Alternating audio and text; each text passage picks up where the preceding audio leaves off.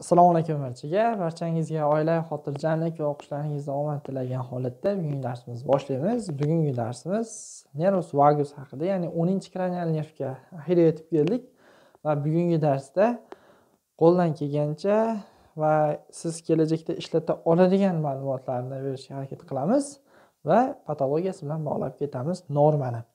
Birinchi navbatda nervus vagusda qanday anatomik tugunlari borligi haqida gaplashamiz.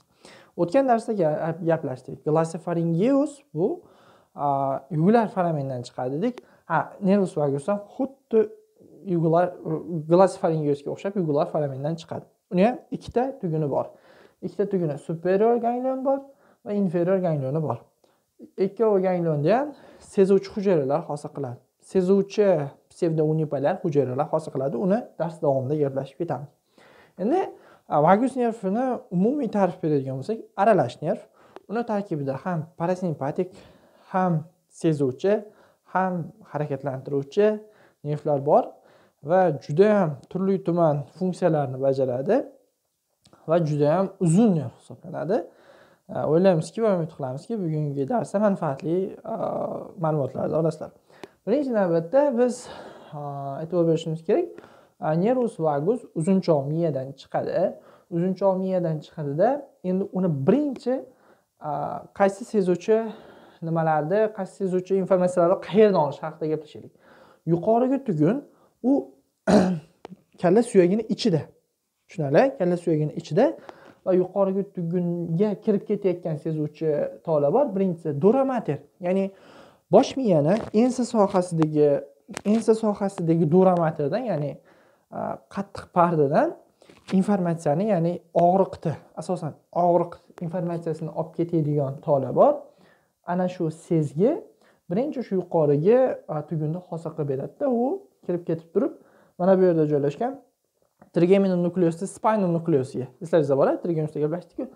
Spinal nukleusga informatsiyani olib beradida va u informatsiya qarama qarshi tomonga o'tib turib talamusga boradi. Talamusda uchinchi neyron boshlanib turib mana bu yerda joylashgan hop postcentralis. Postcentralis virusga boradi. Ya'ni o'sha yerda sezgi analiz sintez bo'ladi. Tushunarli endi bu dura materialda endi keyingi nimamiz bor? Quloqni quloqni tashqi yo'lini pastki va orqangi tashqi eshituv yo'lini pastki va orqangi bo'lagi va quloqni orqa tomoni quloq supasini orqa tomonidan sezgini og'riq temperatura sezgisini ham vagus bo'lib ketadi. Bu e, terida joylashgan yagona sezgi tolasi. Ya'ni vagus teridan olib ketadigan yagona sezgi tolasi shu hisoblanadi.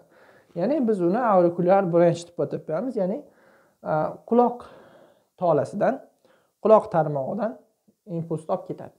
Endi u ham xuddi shu duramaterga o'xshab pseudonipolar hujayrasi superior ganglionda va keyingi neyron spinal nukleusda trigeminal nukleus spinal nukleusda va qanama qarshi tomonga o'tib talamusga boradi uchinchi neyron borib oxiri yarim shardagi postsentral sigiusiga borib o'zini informatsiyasini olib boradi va sintez bo'ladi. Endi keyingi ma'lumotlarga tayanadigan bo'lsak bu yerda endi ichki organlarga o'tib ketdik. Ichki organlarga o'tib ketdik. Ichki organga tushib olguncha vagus o'sha nomlari bor. Adashgan sayyor shunga o'xshash nomlar. Shu vagus birinchi navbatda o'sha kalla suyagidan yugular foramendan chiqqandan keyin internal karotik arteriya ya'ni ichki uyqu arteriyasi bilan va keyin common karotik arteriya umumiy uyqu arteriyasi bilan yonma yon ketadida keyin sekin ko'krak qafasining yuqorigi apex qismidan ichkariga tushib oladi. Ichkariga tushib olgandan keyin mana bu yerda ko'rishingiz mumkin o'ng tomonda omrovosdi arteriyasini aylanib o'tadi va chap tomonda aortani aylanib o'tadi. Aortani aylanib o'tib turib keyin qizil o'ngashni oldingi orqa tomoniga o'tib olib turib keyin qizil o'ngash bilan diafragmani teshigidan tushib adashib ketishaveradi. Ketadigan joyi yo'g'on ichakni proksimal qismigacha. Tushunarli? Mana bu yo'g'on ichak hisoblasak proksimal qismi. Ya'ni qisman mana bu yerda flexure bo'ladiku mana bu yerda yo'g'on ichak timdagi qism bo'ladi. Qisman mana shu qismigacha yetib keladi. Undan u yog'ini endi parasimpatik innervatsiya qayerdan desak sakralis qismidan chiqqan parasimpatik innervatsiya undan yog'ini olib ketadi. Undan yoqdagi parasimpatik innervatsiyani sakralis qismidan chiqqan nerv ta'minlab beradi. Endi ko'ryapsizlar adashib adashib o'sha yo'g'on proksimal qismigacha yetib keldi. Endi u yerda qanaqa funksiyalari bor desak u yerdagi funksiyalar shundan iboratki endi kelinglar motorikasi haqida bir yo'la gaplashib ketaylik. Yutish aktida yutish aktida tillarni og'iz mushaklarini chaynoq mushaklarini hisobga olmaylikda ovqatni luqmani yutib olish kerak yutib olishda asosan ikkita glossifaringeus va vagus ishtirok etadi glossifaringeusni qaysi muskullarda innervatsiya qilish haqida o'tgan safar gaplashdik endi vagusni bugun gaplashamiz. Qaranglar mana bu yerda joylashgan nukleus ambigus bor mana qizil rasmda bergan nukleus ambigus innervatsiyani yarim sharlardan oladi ya'ni presentralis virusdan oladi. Presentralisdan birinchi upper motor neuron, primary motor neuron tushadida tushib turib mana shu neyronda mana shu joyda ikkinchi neyronga impulsni beraveradi. Ikkinchi neyron chiqib turib o'zini kerakli organlarga boradi. Glossifaringiusga qo'shilib olib ketadigan tarmog'i bor. Mana farinks qismiga boryapti. Yumshoq tanglay va farinks muskullari ya'ni tomoqdagi muskullar va yumshoq tanglaydagi muskullarni innervatsiya qiladi. Va qizilo'ngachda ixtiyorga bog'liq yuqorigi qismidagi kondrang targ'il muskullarini innervatsiya qiladi. Va mana bu yerda fonatsiyada ishtirok etuvchi fonatsiyada ya'ni ovoz hosil bo'lishda ishtirok etuvchi larinksni ya'ni halqumni ya'ni hiqilloqni hiqilloqni larinksni larinksni nimasida? Mm, fonatsiyada ishtirok etuvchi muskullarni innervatsiya qiladi. Tushunarli mana ko'ryapsizlar. Laringsda fonatsiyada ishtirok etuvchi muskullari ya'ni farinksda joylashgan yumshoq tanglay va farinksda o'zini muskullari glossopharyngeus bilan birga ketadi. Va qizilo'ngachda ko'ndalang tarix muskullarida qisqartirishda ishtirok etadi. Ya'ni yutish aktida ishtirok etadi. Endi shunday holat bo'ladiki vagusni funksiyasini tekshirayotganingizda vagusda qandaydir muammo bor impuls kelmayapti. Misol uchun vagus ishlamayapti. Bemor tomog'ini ochib turib ko'rsangiz yumshoq tanglay osilib pastga tushib qolgan bo'ladi. Va bir tomonda shikastlanish bo'lsa sog' tomon tortib yuboradi ya'ni e, innervatsiya bo'lmayotgan soha osilib qoladida va sog' tomon tortib yuboradi u sohani. Keyin bemorda ovozida burun ham ishtirok etishni boshlaydi. Ya'ni yumshoq tanglay burunni bekitib turolmaydi odam gapirayotganda. Shuning uchun ma'lum bir tovushlar burun orqali chiqishni boshlaydi vagusda muammo bo'lsa. Keyin yutish aktida muammo bo'ladi albatta.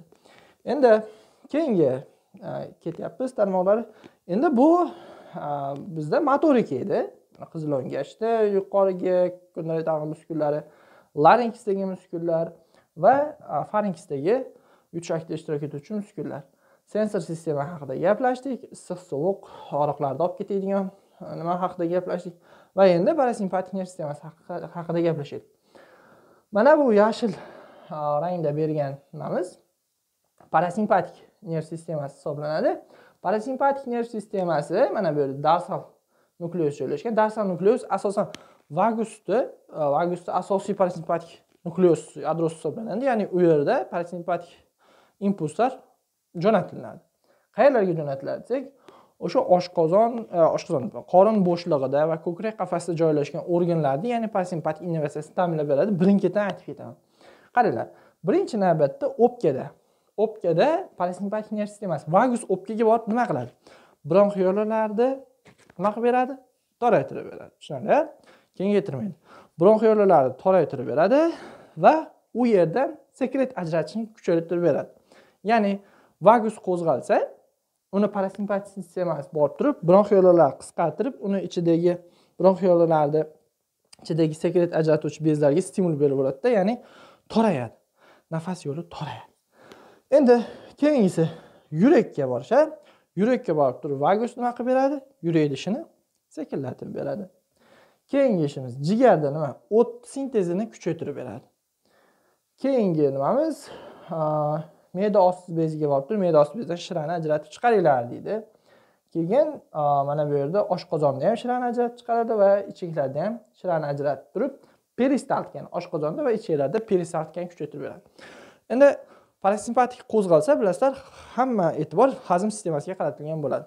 Ya'ni odam ovqatlandi ovqatlangandan keyin shira ajratib chiqish kerak shira ajratib chiqayotganda mana bu yerda shuncha funksiyani tezlashtiryapti jigardan o't chiqyapti peristaltikalar ichaklarda me'da osti bezi funksiyasi kuchayyapti yurak sekin uryapti va bronxlar qisqaryapti. Mana shu funksiyalarni bajaradi. Qo'shimchasiga taloqqa buyrakka ham o'zini pasivat innervatsiyasini olib boradi. Buni esdan chiqarib qo'ymanglar endi ho'p yana bitta bu tola bu visceral afferent tolalar visceral afferent tolalar deganda nimani nazarda tuting bu ham sezuvchi tolalar sezuvchi tolalar nimaga mana ularni ko'kda belgilamadingiz desangiz bular issiq sovuqni eksternal bular. Tashqi muhitdan olib ketyapti impuls ha bular endi ichki organlardan endi bular nimani olib ketadi? Mana qora rangda berilgan. Hop bular o'sha misol uchun mana bu yerda larinksni e, larinksni ichida joylashgan e, shilliq pardadan misol uchun qizilongachli ichki shilliq pardasidan e, mana bu yerda bronxlarni ichki qismidan mana qarang ho'p me'da osti bezidan va oshqozon ichaklardan impulsni olib ketadi. Misol uchun siz qorningiz og'riganini misol uchun oshqozoningizda gaz bo'lyaptida gaz taranglatadiku taranglatgandan keyin mana shu impulslar olib ketadi impuls mana shu tolalar mana shu qora rangda berilgan tolalar impuls olib ketadi ular vagus orqali chiqib ketadi. Tushunarli asosan e, manbalar beryapti. E, yallig'lanish va taranglik ortishi hisobiga yuzaga kelgan sezgilarni mana shu olib ketadi. Olib ketib turib bizga o'sha e, ichki organlarimiz haqida informatsiyani olib borib beradi. Tushunarli ho'p endi tasavvur qilinglar parasimpatik nervasi uzilib qoldi shu tomonda deylik. Misol uchun vagus ishlamayapti deylik parasimpatik nervasi uzilib qoldi. Bunda nima bo'ladi desak misol uchun yutishakda muammo bo'ladi.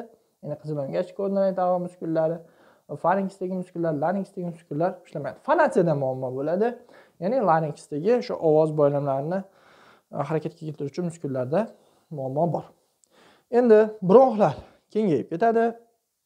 Yurak tez urib yuboradi jigar sekret ajratish motorikada ovqat hazm qilish sistemasida mana bu yerda pankreasni shirajlab chiqarish susayib turib peristaltikalar va ichaklardan sekret ajralib chiqishi susayib ketadi. Tushunyapsizlar hammasi vagusga bog'liq. Endi ho'p ozgina kardiologiya bilan nevrologiyani bog'laymiz. Shunday bemorlar bo'ladiki yuragida muammosi bor klapanlarda muammosi bo'lishi mumkin. Lekin ovozda muammo bo'lishni boshlaydi. Anatomik jihatdan olib qarasak hali aytib berdim o'ng tomon e, chap tomon aortani aylanib o'tadi. O'ng tomon e, subklavian arteriyani aylanib o'tadi dedik. Mana shu yerda mana bu aorta yoyini orasidan o'tib turib larinksni innervatsiya qiluvchi vagus tarmog'i bu recurrent laryngeal nerve recurrent qayta qaytib chiqib ketadigan laringeal nerv mana shu aortani yoyini orasidan o'tib ketib qoladi. Endi tasavvur qilinglar mana bu yerda aortada anevrizma bo'lsa ya'ni aorta kengayib ketsa aorta kengayib ketsa mana bu recurrent laringal nervni qisishni boshlaydi. Endi yana bitta qo'shimcha nima bor? Mana shu yerda mana shu yerda chap chap bo'lmacha joylashgan. Chap bo'lmacha agar mitral klapanda prolaps bo'lsa ya'ni to'liq yopilmasa va mitral klapanda stenoz bo'lsa unda chap qorincha katta bo'lib ketib qoladi. Chap qorincha chap bo'lmacha chap bo'lmacha katta bo'lib ketib qolgandan keyin u mana shu yerdagi rekulantlaringizni qisishni boshlaydi. Qisib qo'ygandan keyin mana bu larinksni innervatsiyasi buziladi. Endi buni siz qanday bilishingiz mumkin? Ekgga qarasangiz ptishchani ikki o'rkachli bo'lib qolgan ko'rishingiz mumkin tishchani ikki o'rkachli bo'lib qolgan ko'rsangiz ya'ni birinchi qismi emas hozir ikkigina o'rgatib ketamiz qaranglar mana mana bunday holatda bo'lsa ekgda mana bu holat misol birinchi o'ngga beradiku o'ng bo'lmachaga tarmoq beradi u o'ng bo'lmacha normada lekin chap bo'lmacha kattalashib ketgan ya'ni u gipertrofiyalashib kattalashib ketib qolgan shuni hisobiga endi biz kardiologlar kasali neurologlarga keltirib chiqib qo'yadi ya'ni laringeal nervni qisib qo'yadi shuni hisobiga yuzaga kelishi mumkin yana nima bo'lishi mumkin? Endi yana adabiyotlar qo'shimcha adabiyotlar beryapti. Mana bu yerdan qo'shimchasiga joy qurib qolgandek o'pka arteriyasi o'tib ketadi deyapti agar o'pka arteriyasida dimlanish bo'lib kengayib ketib qolsa kengayib ketib qolsa u ham shu laringeal nervni qisib qo'yadi. Shuni hisobiga fonatsiya buziladi. Ya'ni larinksga ketadigan vagusti tarmog'i buzilgandan keyin mana bu soha innovatsiya bo'lmaydida va shuni hisobiga innovatsiya buzilish bo'ladida va odamda horsens bo'ladi. Ya'ni tomoq ovozi bo'g'ilib qoladi. Ya'ni normada chiqmay qoladi. Bu kardiologiya bilan neurologiyani bog'lanish qismi edi. Endi keyingi kerak deb bergan deb bilmoqchi bo'lgan informatsiyamiz e, informatsiyamiz bu mana bu yerda joylashgan nukleus tractus solitarius vazifasi va uning boshqa nimalar bilan bog'liqlik tomoni bog'liqlik joyi. Yaxshilab e'tibor berib tursalaringiz o'tgan narsalarni ham ozgina qaytarib olamiz. Tilla oldingi ikki taqsim ikkidan uch qismini uchdan ikki qismini uchdan ikki qismini yettinchi ya'ni nervus intermedius olib ketadi va vagus tarkibiy qismida intermedius olib ketib turib tractus solitariusga tam sezgisini olib boradi. Orqangi uchdan bir qismini glossopharyngeus olib ketadida u ham tractus solitariusga olib boradi. Epiglottisdan ya'ni yutqundan vagus olib ketadi vagus olib boradida u ham tractus olib boradi a bu yerda ikkinchi neyronlar boshlanib turib talamusga olib borishadi talamusdan keyin presentralskiy yurusda o'sha aynan tamni sezgisini insulaga yaqin qismda tamni sezgisini analiz sintez qiluvchi qism analiz sintez qiladi tamni ma'lum bir xotiralar bilan bog'lashi mumkin ma'lum bolaligini eslatib olishi mumkin yoki shunga bog'liq holatlar. Endi bizda shunday holat bo'ladiki mana bu yerda tamga tamga javob beruvchi nukleus tractus bir qancha nimalar bilan bog'liq holat bo'ladi. Ya'ni o'tgan safar gaplashdik salvatoriy nukleuslar bo'ladi superior inferior degan sub inferior glossopharyngeus bilan chiqib ketadi superior intermedius bilan chiqib ketadik superiorni tarmoqlari ko'z yosh bezini va burundagi sekret ajratib chiqaruvchi qismni va qo'shimchasiga til osti jag osti so'lak bezlarini nima qiladi degan. Mana bu yerda glossopharyngeusdan chiqib ketayotgan inferior salivatory nukleusdan chiqqan nimalar? Mm, Tarmoq borib turib u parotit gland ya'ni quloq oldi bezini innervatsiya qiladi dedik ya'ni parasimpatik innervatsiya ta'mni sezuvchi retseptorlar impulslarda yettinchi to'qqizinchi o'ninchi juft nervlar orqali salvatoriy nukleusga emas nukleus tractus solitariusga olib bordi tractus solitarius bu informatsiya haqida salvatoriy nukleuslarga olib bordi salvatoriy nukleuslar superior inferiorlar davay dedi. Nimalarda? Funksiyasini kuchaytiringlar deb parasimpatik innervatsiya orqali so'lak bezlarga impulslar berdi. Ya'ni so'lak bezlar ajralishni boshladi. Endi bu yerda qo'shimchasiga dorsal nukleusga impuls ketishni boshladi. Ya'ni ma'lum bir impulslar darsal nukleusga keladida darsal nukleus a bo'ldi tilda zo'r ta'mlar ketyapti demak ovqat yeyilyapti degan informatsiya bo'ladida darsal nukleus endi hazm sistemasini tayyorlashni boshlaydi. Bu yerda jigardan o't sekretsiyasini kuchaytiradi oshqozon peristaltikasini sekretsiyalarni me'da osti bezini hammasini kuchaytirib yuboradida shu orqali ovqat hazm qilishga tayyor holatda tayyor holatga keltirib berishadi. Endi mana bu yerda yana qo'shimcha bu yerda nukleosos trakt solitarius qo'shimcha bog'liq joylari bor qolgan nimalar bilan. Bular ya'ni siz tamga nisbatan yuzingizni burishtirib berasiz. Misol uchun bemaza bo'lsa ekspressioningiz boshqacha bo'ladi shirin bo'lsa boshqacha bo'ladi tushunarli ya'ni yuzdagi ekspressiyani va yutish aktida va chaynash aktiga bog'liq bo'lgan yadrolarga impuls jo'natib boradi ya'ni tanni sezgandan keyin misol uchun ta'mni bilyapsizda yegisi kelyapti chaynov muskullari yutish akti aktivlashadi. Ta'mni sezdi umuman yoqmadi sizga yoqmasligi bilan sizni chaynov muskullaringiz ham va yutish aktida ishtirok etuvchi nimangiz ham avtomatik to'xtab qoladi. Misol uchun juda yam bemaza narsani og'zingizga solib oldingiz shu yutish yutish chaynay chaynashni ham to'xtatasiz va yutishni ham to'xtatasiz uni qaytarib chiqarib olasiz. Tushunarli mana shu sistemani mana shu oradagi nukleus solitarius bilan boshqa neyronlar orasidagi bog'liqlik keltirib chiqarib beradi. Hop endi yana bitta qo'shimcha nimamiz bor. Mana bu yerda joylashgan darsal nukleus gaplashdik mana bu yerdan turibdi darsal nukleus bu yerdan turibdi. Darsal nukleusga impuls yana keladigan joyi bor. Aortada va bifurkatsiyada ya'ni karotik bifurkatsiyada karotik bifurkatsiyadan glossopharyngeus va aortadan vagus qon bosimi haqida va qondagi kislorodni va konsentratsiyasi haqida impulsni olib ketadi. Olib ketib turib oxiri mana shu darsal nukleusga impuls jo'natadi. Misol uchun baroretseptorlar shu nimadan karotik bifurkatsiya va aortadan baroretseptorlar shunday borda bo'ldi давление baland ekan degan impuls kelishi bilan darsal nukleus qo'zg'alib ketadida va parasimpatik sistemani kuchaytirib yuboradi. Parasimpatik sistema kuchayib turib ya'ni qon bosimini tushiradi. Shu mexanizm ham bor buni esdan chiqarmaslik kerak. Ho'p bugungi sizlarga kerak deb o'ylagan ma'lumotlarimiz shulardan iborat edi. E'tiboringiz uchun rahmat. Qandaydir bizga e'tirozlar talablar takliflar bo'lsa biz doim tayyormiz. Youtube sahifamizda komment qismida qoldirishingiz mumkin. Ilm olishdan to'xtamanglar deb qolamiz. O'zlaringiz ehtiyot qilinglar. Yaxshi kunlarda ko'rishni nasib qilsin